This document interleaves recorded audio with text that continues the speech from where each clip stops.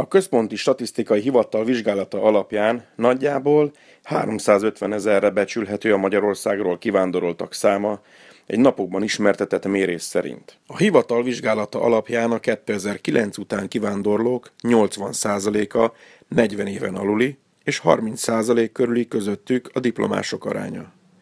Járókelőket kérdeztünk, mit szólnak ehhez. Teljesen megértem őket, hogyha tehetném, én is ezt tenném.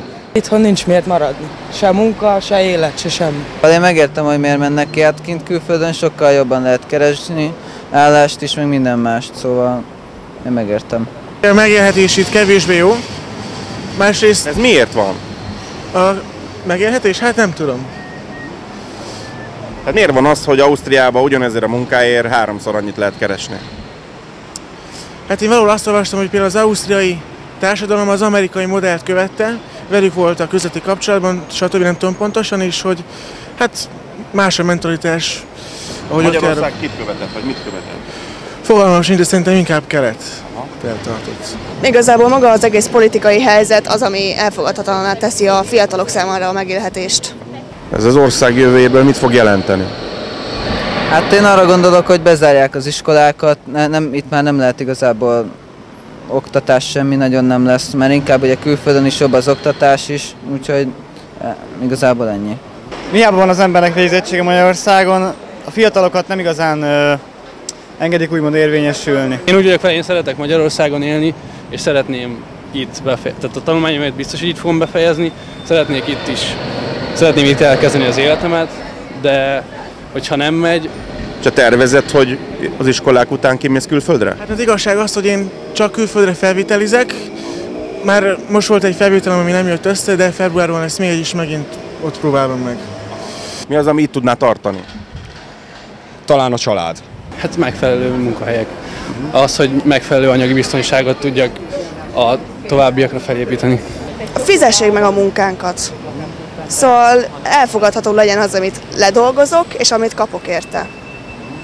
nem ilyen egyszerű mosogatós, takarítós munkákat szeretnék elvállalni. Nyilván egyetemet, amíg finanszírozom, de ott szeretnék lediplomázni, hogy így úgy gondolom, hogy jobban be tudok illeszkedni, mint egy ausztriai társadalomba, vagy egy német társadalomba, és akkor nem egy, ah, magyar leszek, hanem egy ember, akit tisztelnek, hogy eljött hozzánk, itt lediplomázott, dolgozik és építi az ő hazájukat.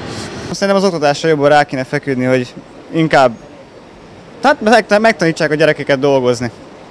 Tehát ez szerinted a legnagyobb probléma? Hát szerintem ez.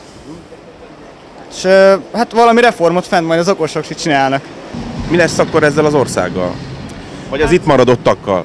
Szerintem szépen lassan el fognak fogyni a szakemberek, az értelmiség, és talán majd akkor a társadalomnak egy a lentebbi szinte fog majd, szintje fog itt maradni. Hát nem tudom.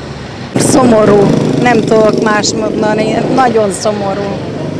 Mert itt is szükség volna a fiatalokra. Az még a jövő zenéje, hogy, hogy mi lesz még a jövőben, de, de nagy valószínűséggel az, hogy, hogy itt nem, lehet, nem lesz maradás, mert itt nem éri meg. Itt azért dolgoznak az emberek, hogy ne halljanak éhen, meg hogy éppen legyen fedél a fejük felett, máshol pedig azért egy picit jobb körülmények vannak. Fogalmam nincs, hogy mi lesz tovább, de nem jó lesz. Hát maguk fiatalok kéne intézkedjenek, ne ilyen öreg, majdnem 80 éves vagyok már. És mit javasol? Hát én nem tudom. Nem merem kimondani. Azt javasolom. Na, köszönöm szépen, drága. Viszontlátásra.